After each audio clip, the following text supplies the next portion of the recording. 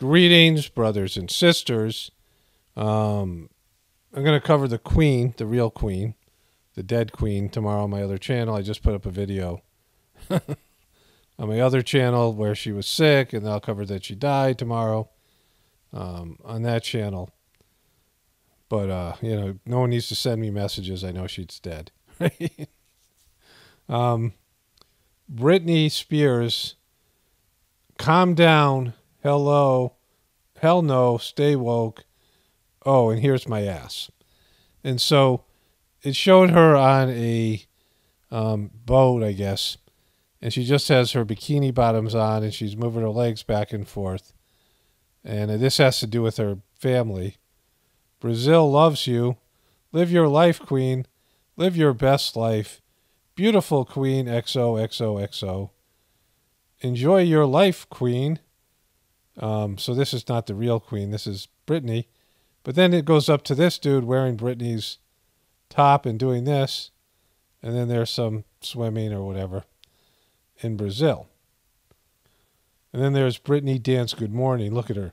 I'm going slow. I'm reaching out. I'm going to do a slow dance. No spinning today. I'm going to go up and down. Put my arms out like a ballerina.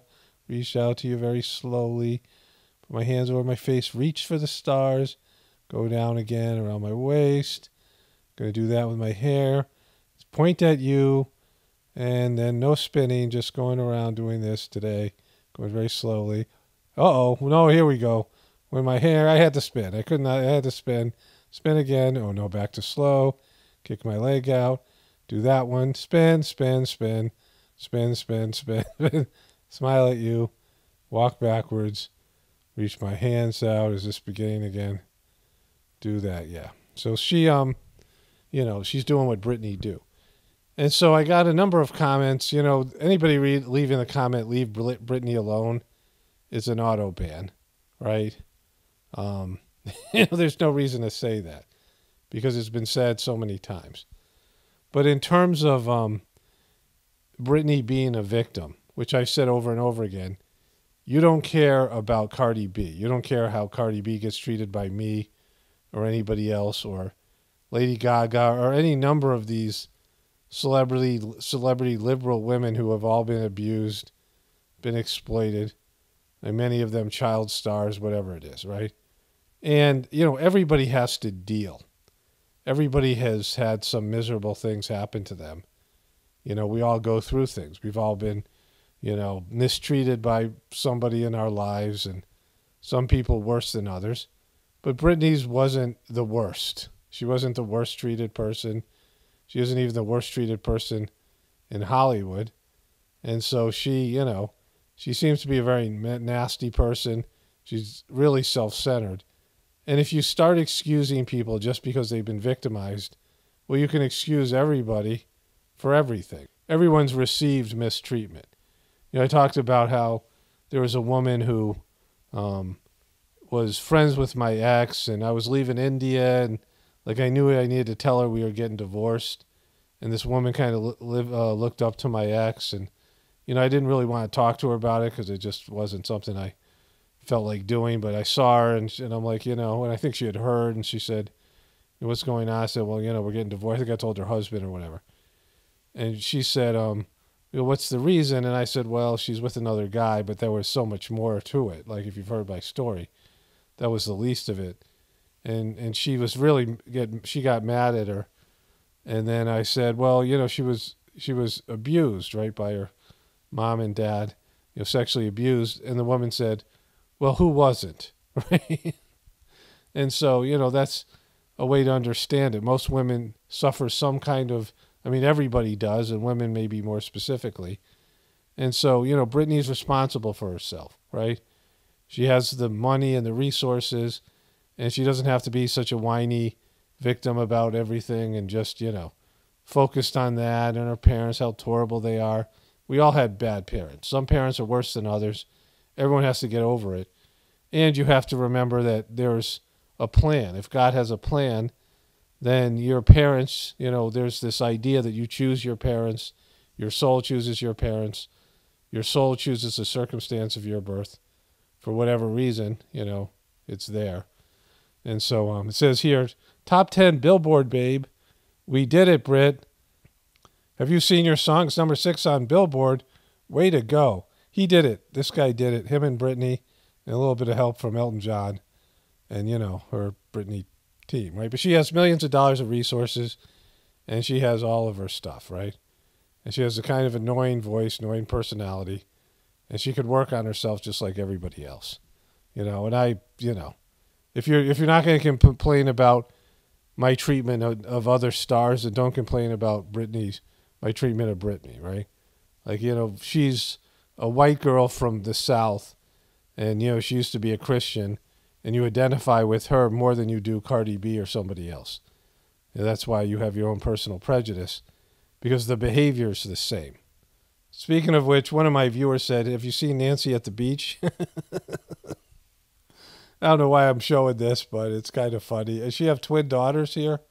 It's like three of the horsemen of the apocalypse walking down the beach in California.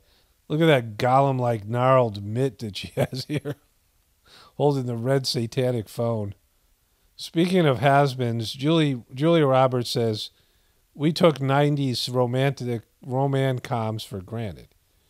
Julia Roberts knows rom coms have star have starred in a string of successful ones in the '90s: Pretty Woman, My Best Friend's Wedding, Runaway Bride, Hill, and she has something to say about them. I think we didn't appreciate the bumper crop of romantic comedies that we had then you don't see all the effort in puppet strings.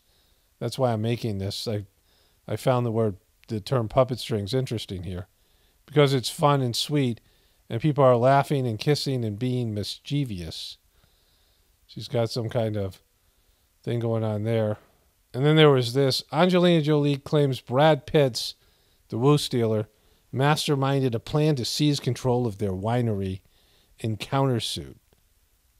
Angelina Jolie is firing back with her own countersuit against ex Brad Pitt over the wine business they previously co owned together.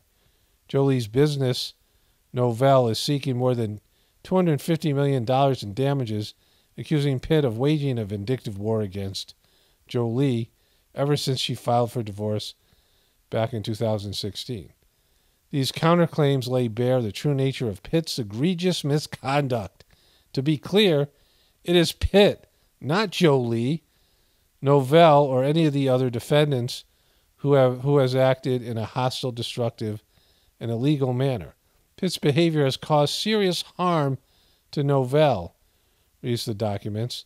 The attorneys claim that Pitt 58 masterminded. he doesn't seem like a mastermind. A so far successful plan to seize control of the Chateau Miraval the south of France vineyard and home that back in 2008 the pair who shared six kids bought a, control, a controlling stake in. They allege Pitt has now frozen Frozen Nouvel out of uh, Chateau Miraval his treats as his per- and, and treats it as his personal fiefdom and has wasted its assets spending millions on vanity projects including one more million dollar on a million dollars on a swimming pool, renovations, and other funds restoring a recording studio. The legal filing claims Jolie, 47, allegedly negotiated for months with Pitt's side to sell him half of her of the winery, but he made an 11th hour demand for erroneous and irrelevant conditions, including a provision designed to prohibit Jolie from speaking publicly about the events that led up to their break the breakdown of their marriage. It was called a hush clause. Okay, this is enough of this. Um, that's Brad Pitt's. So Courteney Cox posted this on Instagram. She's listening to Heartless by Kanye. I actually didn't write the tweet that said Friends wasn't funny, but I wish I had. And she sees that and she gets, you know, that that evil face Friends wasn't funny, and she turns off his heartless. And um, you know. and of course, the Queen is dead. Like I said, I'll cover that on my other channel tomorrow. Okay, so I want to talk a little bit more about the Britney stuff and the left right paradigm. But first, I had um, something I think is fairly important because of the feedback I've been getting and some of the, the messages that people have been writing me. So I'm going to put this on my Pockets of the Future channel today, the day the Queen died, and I'll feature it in the beginning of my video for the Apocalaughs Now um, Hollywood celebrities dropping like flies. So I've been feeling, you know, I don't want to say weird. I don't know if that's that's not the right word. I want to say off, different than I normally feel. I've had some vivid dreams, which I talk about in a journey series video that's going up probably on Saturday or tomorrow. I don't know, Friday or Saturday. And I've been like tired at times and just sad for no reason. And then a little bit of anger, not so much. And then some days just feeling unsettled. I wouldn't call it fear, but waking up feeling a little bit unsettled. And, you know, and I talk about how I felt this way right before the big event 2001. You know, I felt like this before. It's different this time. I don't really, I can't put a finger on it. Uh, but there's just, uh, you know, a difference in my internal condition. My meditations are good. I feel mostly pretty good, but I could notice, you know, that there's like something like a disturbance in the force kind of a thing. Doesn't necessarily have to be bad.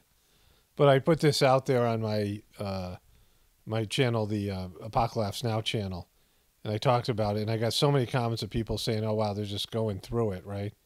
And people are having physical issues, or you know, it seems like there's a an uptick in feeling uh, maybe not so great, or and you can read the comments for yourself. And I also got a message from somebody saying, you know, they had like suicidal thoughts that they didn't feel like they were their own thoughts, right? You know, and I was thinking about that because I know that the government has, I mean, if you think about the idea of subliminal messaging, the book called Propaganda by this guy, Edward Bernays, about how they could just own people. You know, they could just um, get them to think any way they wanted through television. When television first came out, they realized they could just hypnotize people with the television and move them any way they wanted internally. And you know that was a back in whatever the the 50s or 40s or whatever that you know period of time was the when they were just um, starting to have movies and TVs shows and things. Very old book. And you think about the levels of technological development since then. And so their ability for mind control and I'm not talking just about the government, but we're talking about private corporations and we're talking about the military industrial complex and you know individual people who could develop things on their own without anybody even noticing.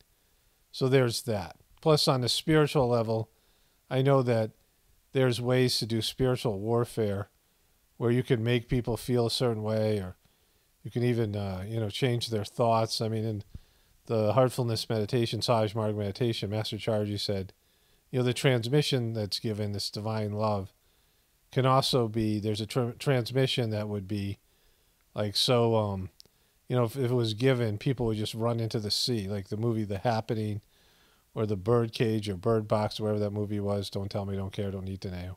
Don't need to know.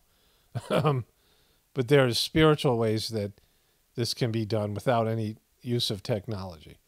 And we know that because everybody's probably experienced a bad luck shrep lock in their life. Somebody that when you're around them, they just drain you, right? They, they uh, drain the life out of you. I mean, we've all felt this unless you're one of those people, you know.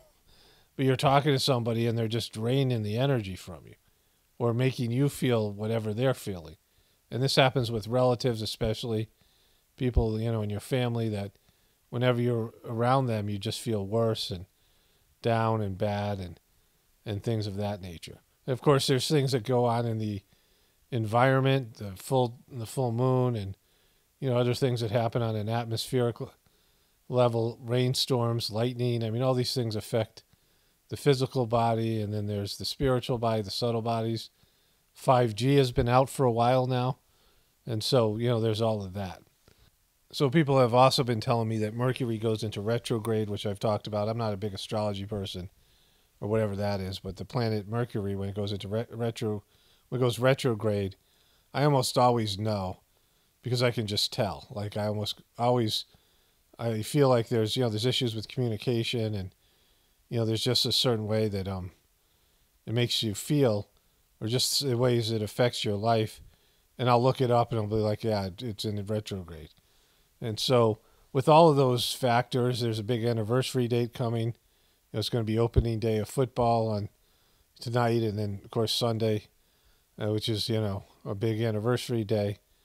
And so there's all these things. The election coming up the you know everything that's going on very tumultuous time in our country. And so I just wanted to put this out there, and people can comment about what they're going through and feeling, because maybe other people are feeling exactly the same way you are. If you're having suicidal thoughts and it's something that you never really think you're not depressed, you're not a person that, I mean, you might, you might not even be feeling bad, but you just have these weird thoughts or self destructive thoughts or something like that.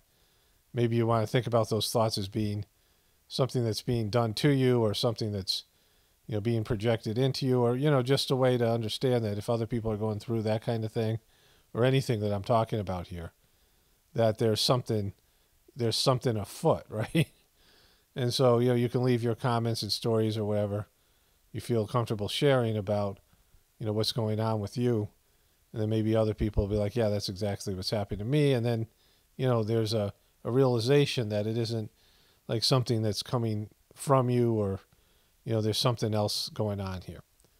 But anyways, um, I'm going to post the same exact thing on my other channel. So if you listen to it here, you can skip the first five minutes of the video tomorrow on my uh, in my Apocalaughs Now or whatever. You know, this is you know around uh, seven minutes long. So the other piece of this, the stuff with Britney and you know um, the left-right paradigm, or even like football or anything that's going on in the world you know, I um, have my own feeling about all these things. Like if you enjoy something and you know whatever brings you comfort or it's familiar, like for me, watching sports is something from like my past life, like you know, something I did years ago when I was a kid, and then older in my twenties. I stopped doing it for a long time. Didn't have a TV, didn't follow stuff as much, and then you know started doing it again recently. Whatever covered sports in my videos. You know, I believe that it's rigged to whatever extent. It's entertainment. It's, you know, I mean that it isn't, you know, organic in terms of the outcome of the of the contest. But I enjoy it, right? You know, at whatever level I enjoy it. Sometimes I do, sometimes I don't. Sometimes I get sick of it. Whatever. Same thing with TV shows, movies, whatever it might be. You know, I cover things, symbolism, and you know, there's an agenda there, and but they also can be entertaining, right? And so it's the same thing with politics and voting. The whole system's rigged.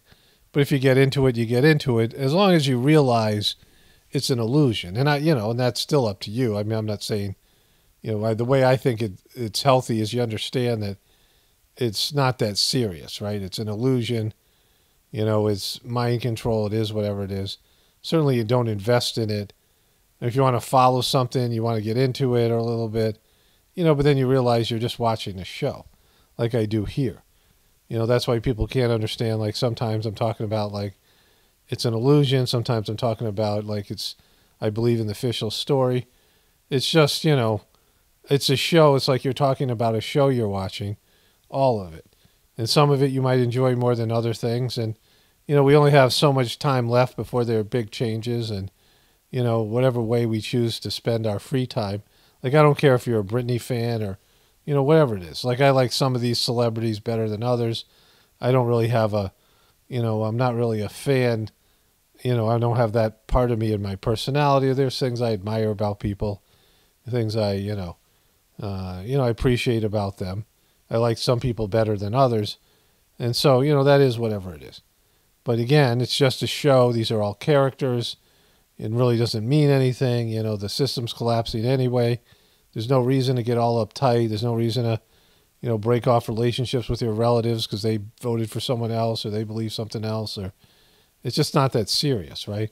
Because we can't affect the the outcome of what's going to happen. You know, there's a great whispers message, one of the ones about the predictions, prophecies, where Babuji, the second master of the system, was in a you know, disembodied soul gave these channeled messages, and he says, you can neither stop time nor modify the current system in place. Can't change the system, and you can't stop time, right? This is going to run its course, whatever way it does that. You see things going a certain way, and you make the best of them, right? And you know, you got to understand that there's, I mean, people are going to go through things because things are changing. There's the magnetic poles that might be shifting. There's, like I said, 5G, whatever capabilities the government and technological people have out there to influence humanity. I mean, it's all these things, right? There are changes afoot, and people are feeling unstable, unsettled. The news, you know, the apocalypse, the movies, TV shows, there's all this apocalyptic stuff out there. And so it's something where, you know, you just got to realize that it's um, going to happen one way or another, and there's not much we can do about it, but we can change the way that we we experience it, right? We can, you know, ride the wave of it, change our attitude. Don't look at it like we're losing things. Look at it like, you know, our soul chose to be here for a reason and there's some plan or some benefit to it and, you know, enjoy what's left, right? Because once things go, they won't come back. And there's going to be a lot of things disappearing instead of, you know, trying to cling on to them, just enjoy them and let them leave when they leave, you know, with any, without any sense of you regret or you know like you're missing something that you you know that now it's going to be something different. Um, because we you know there hasn't been this kind of large scale change that's happened uh, most of most of uh, life on planet earth has just sort of moved forward. There's individual countries and individual people that experience i mean everyone has their own private apocalypse right? Not just in terms of death but you have your you know, moments in, in life that seem apocalyptic for for you individually. But in terms of a collective, we haven't seen something like this, a global collective, you know, in thousands of years, and here it comes. Anyways, you know, free Britney. Only spirituality will save this world. It's Paul Romano, definitely pointing from the apocalypse and the ascension. Everyone have a blessed day and be grateful.